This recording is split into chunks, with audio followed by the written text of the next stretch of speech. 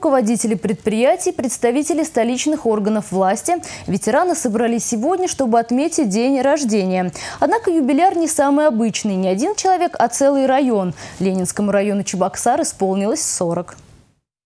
Он родился в далеком 1973-м, совсем небольшим, всего 2000 гектаров. Затем рос вместе с городом. И вот он в самом расцвете сил, красивый, статный, ухоженный. Поздравить район с круглой датой собрались горожане, представители правительства города и те, кто стоял у его руля в разные годы.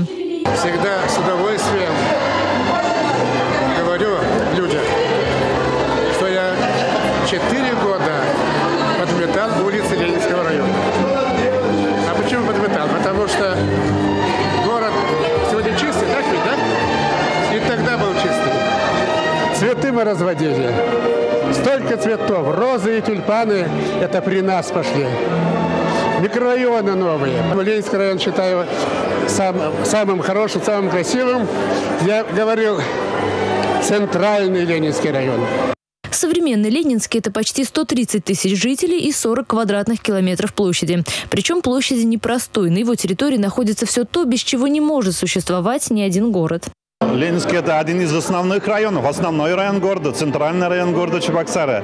По состоянию Ленинского района судят о состоянии, наверное, гости э, всего города Чебоксары. А здесь э, деловая часть, здесь и администрация города, администрация главы республики, правительство в Ленинском районе располагается, здесь учреждение культуры, основной Чувашский драмтеатр, и русский драмтеатр.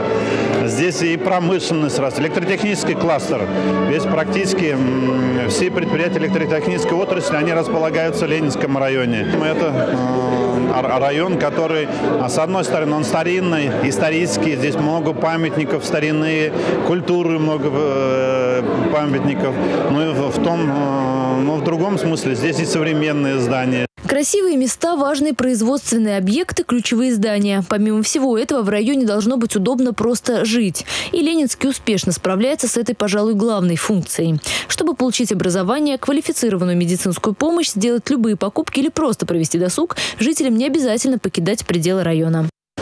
Многое за это время сделано. Предстоит еще больше.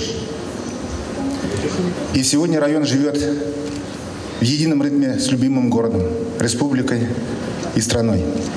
Хочется сегодня пожелать всем нашим строителям, промышленникам, учителям, врачам, предпринимателям, работникам культуры и искусства всех благ.